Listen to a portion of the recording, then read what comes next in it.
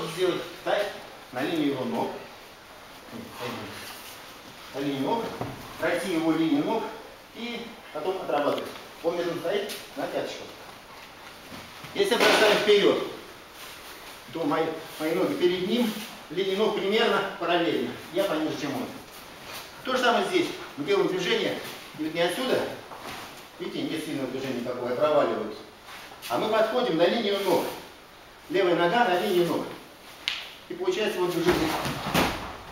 Обязательно ноги поставить правильно, тогда будет нормально. Если ноги не поставили, броска не будет. Еще минуту. Погнали.